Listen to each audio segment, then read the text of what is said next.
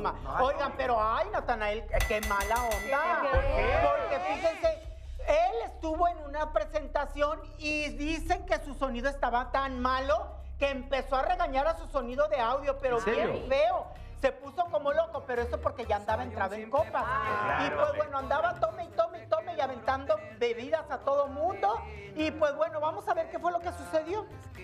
aplauso para los ingenieros Ah, es que sí, da coraje. Son los mejores, hermanos. Vamos a mandar a... Ah. Qué grosero. Pues es que, Es que no es grosero. Pero Pero, es que mira. ya casi se acaba el concierto, entonces... Ese grito para los que perdieron el trabajo. Ah, entonces por eso canta tan feo, por culpa de los ingenieros que no le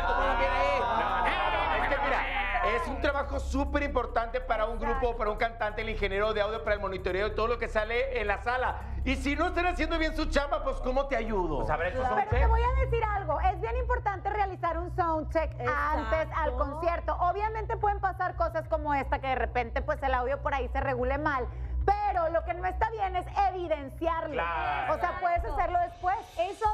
profesional. Por ejemplo, en un programa puede pasar muchísimas cosas. Cuanto más casadito, mejor, querido. No te evidencies. Oye, estuvo mal el audio desde hace como cuatro años, porque por fin se pudo escuchar bien. Después de tres años. No, pues fíjate, los que estábamos ahí nunca vimos la diferencia entre que los ingenieros y entre que no. Para nosotros canto igual. No, no, no, no, no.